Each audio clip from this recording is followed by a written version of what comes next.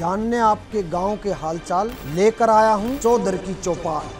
हम अपने कार्यक्रम चौधर की चौपाल को लेकर पहुँचे हैं झाड़ली गाँव, जो कि महेंद्रगढ़ ज़िले का गाँव है, कनीना ब्लॉक में ये गाँव। इस कार्यक्रम का मकसद है, चौधर की चौपाल का मकसद है, यहाँ की समस्याओं को सरकार तक पहुंचाना और यहाँ की उपलब्धियों को हरियाणा के हर घर तक चौधर की चौपाल कार्यक्रम में दिखाना।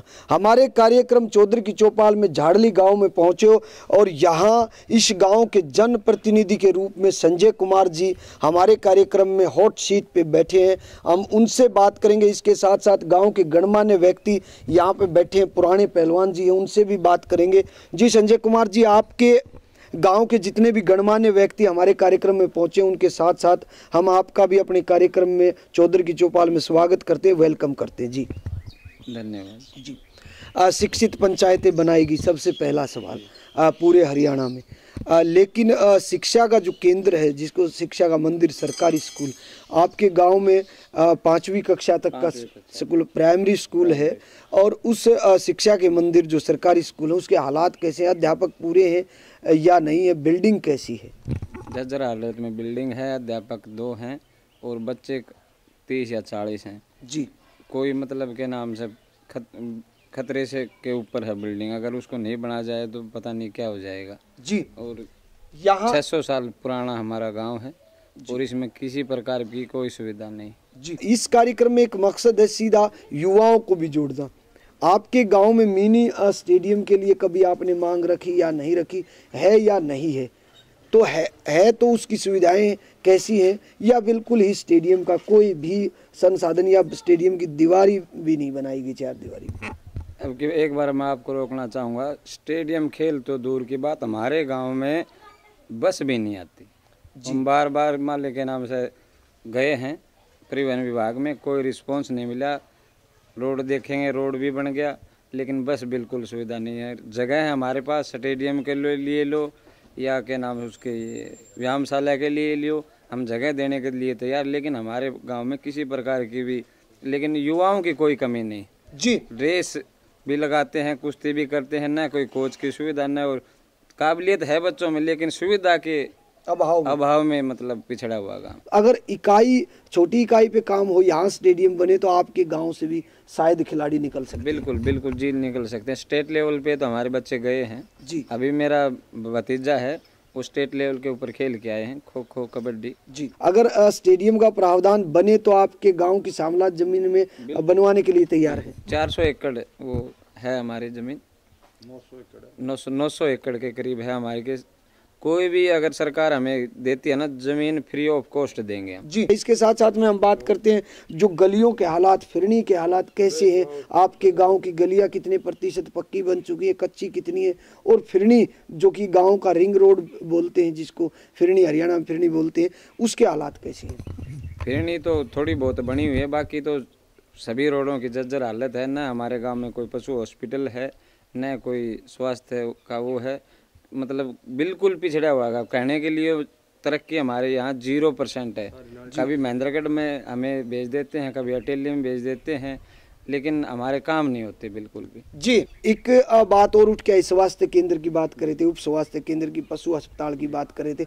आप कितनी बार मांग लगा चुके हैं गुहार ग्राम सभा भी हुई होगी? हमने तो जब भी हम सरपंच बनने के बाद हमने हर प्रस्ताव में मतलब के नाम इसकी वो दिए हैं। स्वास्थ्य केंद्र। स्वास्थ्य की भी पशु हॉस्पिटल की भी न तो हमारे से कोई प्रस्ताव मांगा गया न आजकल कोई ग्रांट की उम्मीद है। एक ऐसी चौपाल की ग्रांट डीसी साहब के, उसे डी प्लान के अंदर नाम आया था हमारा, वो भी हमारा कट गया। जो गाँव की चौपाल जो हरिजन चौपाल बताई, ऐसी चौपाल बताई, उस चौपाल के अलावा आपके कितनी चौपालें हैं? पूरे हरियाणा में चौपालों के लिए ग्रांट दी जा रही है, पिछली सरकार में भी और इस सरकार में, जहाँ से चौधराहट चलती है जो चौपाल है उसके हालात दयनीय बता रहे हैं। तो इसके लिए आप कितनी बार मांग कर चुके हैं और क्या जवाब मिला मैं तो हर ग्राम सभा में इसका नाम देता हूँ। नाम दिया भी था, डी प्लान में हमारा नाम भी आया था, सवा नौ लाख रुपये हमारे उसमें नाम आया था लेकिन बाद में वो काट दिए गए। हमें नहीं पता कैसे कटे जी इसके साथ साथ में शिक्षा का जो क्षेत्र है शिक्षा का जो एक मंदिर है उसके भी दयनीय हालात हैं। और पीने के लिए पानी की भी सुविधा नहीं हमारे टंकी बनी हुई है। जल घर बना जल घर बना हुआ लेकिन उसमें टैंक नहीं है। और वो क्या बोलते हैं उसको जो चेक कराते T D S T D S तीन हज़ार के आसपास है। पानी पीने लायक भी नहीं है हमारे। इसके साथ साथ हम पानी पे बात करते हैं, गंदे पानी की निकासी जो नालियों का पानी कहाँ एकत्रित किया जाता है या गंदे पानी की निकासी के पुख्ता प्रबंध आपके गाँव में कभी थे ही नहीं? हमारे गाँव में किसी प्रकार का गंदे पानी का कोई पुख्ता प्रबंध नहीं है। जैसे टूटी फूटी नालियाँ हैं वो बनी के अंदर के नाम से भेजते हैं कोई रास्ते में खिंडा मतलब विकास के बारे में तो बात ही मत करो। हम संजय कुमार जी से दोबारा जुड़ेंगे। एक बार कुछ सवालों के जवाब जो गणमान्य व्यक्ति आए हैं यहाँ पहुँचे हैं चौधरी की चौपाल में उनसे करते हैं उनसे भी बात करते हैं गाँव के बारे में। आ, सुरेश पहलवान जी से हमारी बातचीत चल रही है। खेलों के लिए आप तो पुराने पहलवान रहे हैं और गाँव में खिलाड़ियों के लिए आप समय समय पर कदम भी उठाते रहे होंगे लेकिन सरकार से कोई सहायता न मिलने के कारण खिलाड़ियों के हालात यहाँ ऐसे होंगे कि राष्ट्रीय स्तर पर नहीं जाने की रुचि है बच्चों में। खूब मेहनत करते हैं। हाँ। अपने दम पर करते हैं सुविधा है नहीं कोई रेसलिंग में भी करते हैं। हाँ करते हैं रेसिंग में। ओपन दंगलों में भी नाम है खूब अच्छा बढ़िया अपने देहाती दंगलों में खेलों में बढ़िया थे। हाँ। जी। बढ़िया। नरेश जी बताइए गाँव की कोई समस्या उपलब्धि? हमारा गाँव में जी समस्या है समस्या से। जी। हाँ जी कोई सुविधा कोई ज़ीरो से। ये जी हमारे नालियों का पानी मंदिर के आगे जाता है। जी। गंदे पानी की निकासी हाँ, गंदे पानी की निकासी नहीं है। पहलवान जी कितने सौ साल हो गए लगभग आपके गाँव को बसे बुज़ुर्ग लोग बताते हैं? छह सौ वर्ष हो गए। अच्छा कहाँ से निकासी हुई? ये नहीं तीन जगह से निकास है हमारे। गाँव में तीन बहुत का हाँ एक रोडी वाले से है कुछ अपने पड़ोसी गाँव में धनुंदा। जी। हाँ। इसी प्रकार तीन जगह तीन तीन जगह से। लगभग तीन गोत्र का गाँव है और तीन जगह से निकासी हुई और 600 साल पहले ये गाँव बसा। अभी हालिया जनप्रतिनिधि से हमारी सीधे तौर पर संजय कुमार से बातचीत चली हुई है। इसके अलावा जैसे सरकार की जन कल्याणकारी नीतियाँ चली बेटी बचाओ, बेटी पढ़ाओ अभियान, खुले में सोच मुक्त भारत जैसे पहले बात हुई थी, शौचालय बनवाने की जो योजना थी। और आपका ये पेड़ लगाओ, जीवन बचाओ अभियान। इसके तहत आपने तीनों योजनाओं पे क्या काम किया है अब तक? इस पे बेटी बचाओ बेटी पढ़ाओ पे इस व्यवस्था पे भी हम अपनी तरफ़ से पूरी कोशिश कर रहे हैं। और हमने एक मुद्दा भी उठा रखा है शराबबंदी का। उस पे भी हम अंकुश लगा रहे हैं। बाकी खूब प्रयास कर रहे हैं। प्रशासन का ज़ीरो मात्र के नाम से रिस्पॉन्स मिल रहा है। जी। जी। यहाँ ये देखिए, हम चौधरी की चौपाल में इस गाँव में पहुँचे हैं, जो कि सरकार की जन कल्याणकारी नीतियाँ हैं। उन नीतियों को लेकर चल रहा है ये गाँव। हम अपने कार्यक्रम चौधरी की चौपाल में यहाँ पुरजोर तरीके से मांग उठाते हुए पूरे गाँव की तरफ़ से जल्द से जल्द इस गाँव को वित्तीय सहायता दी जाए, ताकि ये गाँव विकास के पथ पे आगे बढ़ सके। हम अपने कार्यक्रम चौधरी की चौपाल का स्मृति चिन्ह यहाँ संजय कुमार जी और गाँव के जितने भी गणमान्य व्यक्ति हैं, उनको भेंट करते हुए हम अपने कार्यक्रम चौधरी की चौपाल को लेकर निकलते किसी और गाँव, वहाँ की समस्याएँ और उपलब्धियाँ ढूँढने। जय हिंद, जय हरियाणा, जय भारत माता। हम अपने कार्यक्रम चौधरी की चौपाल को लेकर पहुँचे हैं फरमाना गाँव, जो कि रोहतक ज़िले का गाँव है। यहाँ से महिला सरपंच पूनम देवी और जन प्रतिनिधि के रूप में जयसिंह जी हमारे कार्यक्रम में बैठे हैं। इसके अलावा गाँव के गणमान्य व्यक्ति और कुछ युवा साथी यहाँ पे पहुँचे। चौधरी की चौपाल में इस गाँव की समस्याओं को उठाएँगे, सरकार तक पहुँचाने का काम करेंगे। इसके साथ साथ हम अपने कार्यक्रम चौधरी की चौपाल में फरमाना की जो उपलब्धियाँ हैं, उनको हरियाणा के घर घर तक पहुँचाने का काम करेंगे। हम अपने कार्यक्रम चौधरी की चौपाल में सभी गणमान्य व्यक्तियों के साथ साथ यहाँ जनप्रतिनिधि के रूप में जो मुखिया के रूप में जयसिंह जी का स्वागत करते हैं, वेलकम करते हैं। जी जयसिंह जी। हाँ जी, नमस्कार जी आपको। आपके परिवार ने चुनाव लड़ा महिला सीट थी आपकी पुत्र वधु ने यहाँ से चुनाव लड़ा और आज जनप्रतिनिधि के रूप में मुखिया के रूप में आपका परिवार यहाँ जयसिंह जी। तो अ, क्या सपना देखा था इस गाँव के विकास का? हमने इस गाँव के विकास के लिए एक सोच थी हमारी अब हम सरपंची का इलेक्शन लड़े और उसमें इस गाँव के सभी व्यक्तियों ने हमारा सहयोग दिया। छत्तीस जात ने हमारी के ऊपर आशीर्वाद दिया और हम इस गाँव के प्रतिनिधि चुने गए। जी विकास के लिए आपने हमने विकास के लिए जो वोट मांगी। वोट मांगी थी। शिक्षा बात करते जो सरकारी स्कूल है उसके हालात कैसे हैं? अध्यापक पूरे हैं या नहीं है? हमारे स्कूल गाँव में पाँच स्कूल हैं सरकारी। जी। बादशाह तीन स्कूल हमारे फरमाना खासी पंचायत में है। एक स्कूल एक स्कूल बादशाहपुर में है और एक पल्ली तरफ़ है परली उसमें जुलाना साइड में। जी। हमारे गाँव में शिक्षा का स्तर कुछ ढीला है क्योंकि यहाँ लड़कियों वाले स्कूल में टीचर्स कम हैं। कुछ सब तबादले हुए उन पे चले गए हैं कुछ मास्टरों की बहुत ज़्यादा कमी है यहाँ। जी आप बिल्डिंग के क्या हालात हैं? बिल्डिंग बिल्कुल जो गर्ल्स स्कूल है उसकी बिल्डिंग तो अच्छी है।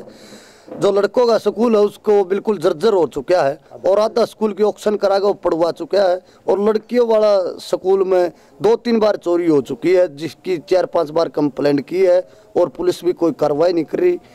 विभाग में दो चार बार पेश हो चुके हैं। पीआरआई स्कीम से जो आई उस पे नालियों पे काम हुआ या नहीं हुआ? जी। पीआरआई से सर समरसिबल लगवाए गए हैं बस गाँव जी, जी। गाँव में पानी आने का वाटर वर्कर्स का भी बुरा हालत है। हमारे गाँव में दो डिग्गी है वाटर वर्कर्स बने हैं। एक डिग्गी तब से बनी है तब से उसके अंदर पानी नहीं आया है। वो सप्लाई कैसे करें? जन स्वास्थ्य विभाग के जो दो यहाँ पे वाटर वर्क्स हैं डिग्गी जिसको बोलते हैं पेयजल आपूर्ति के लिए वो अब बिल्कुल दयनीय हालत में है। हम अपने कार्यक्रम चौधरी की चौपाल में यहाँ की समस्याओं पर बातचीत कर रहे हैं। बताइए गाँव की कोई समस्या जो सरकार के सामने आपको रखनी है? ये रजबाए गई यार जी पानी गई है। जी। गलियाँ गई है। जी। ये बहुत बड़ी समस्या है। समस्या तो बहुत है जी। समस्या हमारी हल करवाओ। आपका बहुत धन्यवाद होगा। और ये बिजली की है मान लो फिर ये उसकी पानी की ज़्यादातर तो जी? जी, ज़्यादातर पानी पानी की समस्या, बिजली की समस्या पूरे हरियाणा में है। और इस समस्या समाधान पूरे हरियाणा के साथ ही हमारा भी होगा। जी, हम कार्यक्रम में लगातार जुड़े हुए हैं। अभी जयसिंह जी से सीधे तौर पे बात कर रहे हैं, यहाँ जो स्वास्थ्य केंद्र है या नहीं है। है तो उसके हालात कैसे हैं? डॉक्टर पहुँचते हैं टाइम पे नहीं पहुँचते। जी। हमारे गाँव में बादशाहपाड़ी दूसरी पंचायत में पीएचसी है। जी। बड़ा स्वास्थ्य केंद्र है। डॉक्टर यहाँ आता है। हमारे गाँव के डॉक्टर सतवीर सिंह यहाँ है।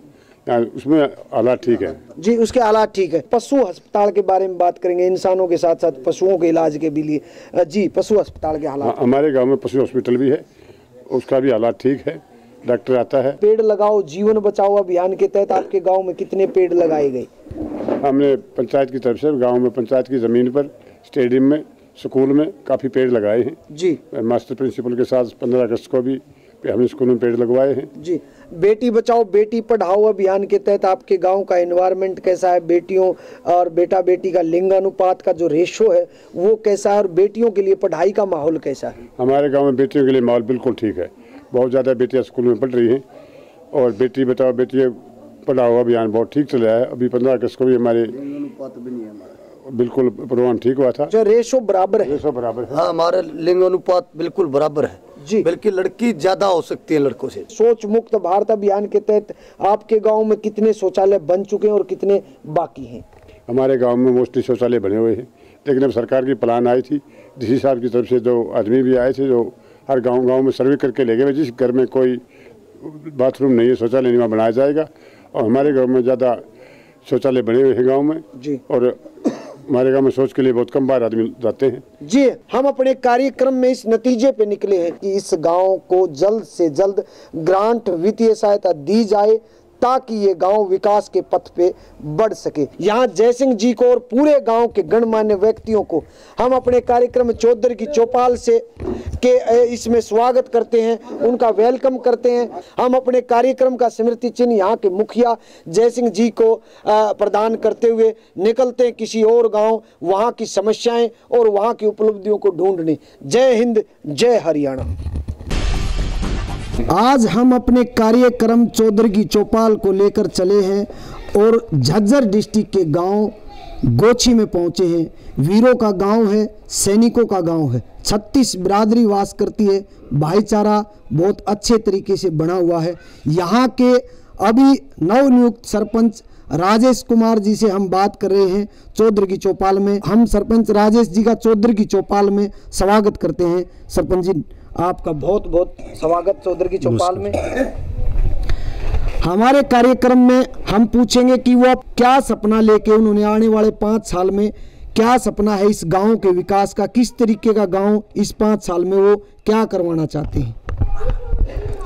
हम यहाँ जी गाँव को बहुत अच्छे तरीके से बहुत ही ज़्यादा प्रोग्रेस चाहते हैं गाँव में। और जो भी कमियाँ हैं, हम उनको इस सरकार की उसमें दूर करना चाहते हैं। स्कूल की तरफ़ से भी बिल्डिंग बहुत जर्जर हो चुकी है। हम चाहते हैं अच्छी बिल्डिंग हो गाँव में बिजली का अच्छा प्रबंध हो, पानी का प्रबंध हो, मेडिकल हो। गाँव गाँव में पार्क बन रहे हैं। हम भी चाहते हैं हमारे यहाँ भी पार्क हो।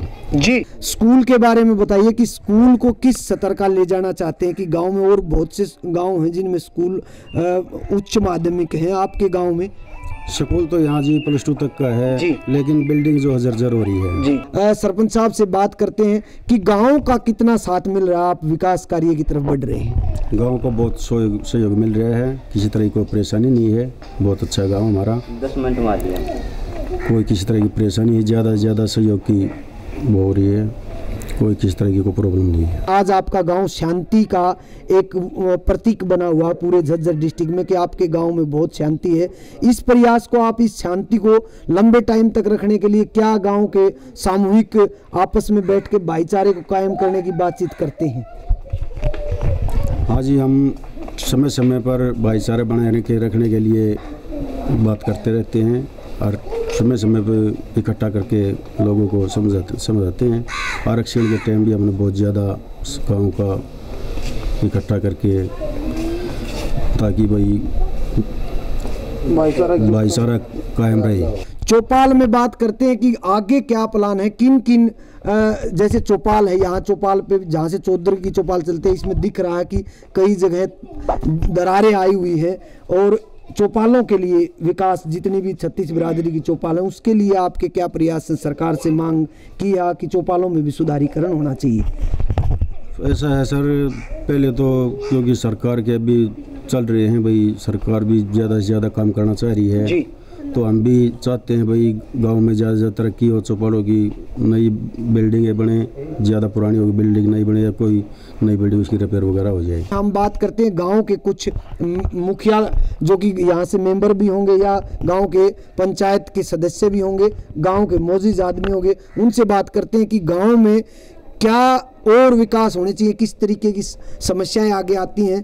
गाँव की आबादी को देखते हुए और गाँव को देखते हुए हमारे गाँव में सबसे जो मेरी नॉलेज में सबसे जो मोटी समस्या है ना जी जी। वो एक अस्पताल की है। जी। इतनी आबादी होते हुए भी हमारे यहाँ ऐसी सुविधा भी नहीं है। अगर किसी का कोई खेत में या कहीं भी काम करते वक्त थोड़ी ज़रा सी चोट भी लग जाए तो पट्टी का भी प्रबंध हो जाए। वो मेरे गाँव में बिल्कुल नहीं है। ये सारी पंचायत बैठी और बैठे हैं। सबसे मोटी समस्या तो ये है गाँव में। जी।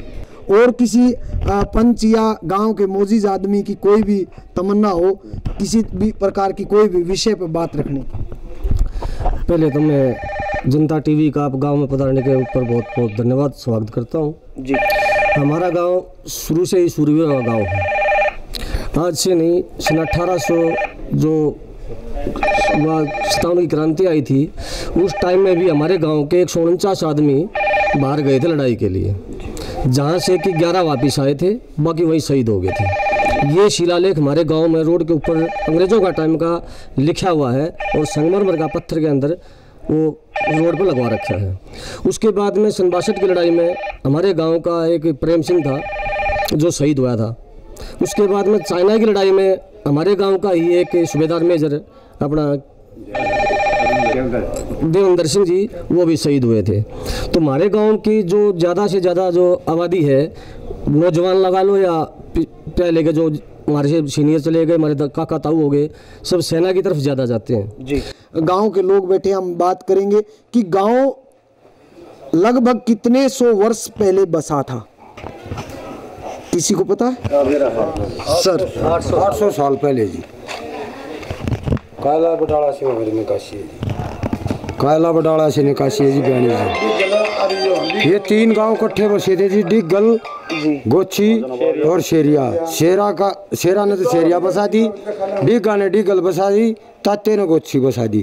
अब भी जाल मौजूद जी जहाँ पे वो आकर रुके थे। इस गाँव के लोगों का धन्यवाद करते हैं कि उन्होंने मंच पर इस कार्यक्रम के माध्यम से चौधरी की चौपाल पर समस्याएँ रखी। हमारा एक सम्मान होता है, जिससे हम चौधरी की चौपाल का एक स्मृति चिन्ह देते हैं। राजेश सरपंच जी को बार बार चौधरी की चौपाल में धन्यवाद करते हैं। गाँव के सरपंच राजेश जी का, जिन्होंने इस गाँव की समस्याओं को एक सपना बना लिया है और उस सपने को लेकर आगे चल रहे हैं। जय हरियाणा, जय चौधरी की चौपाल।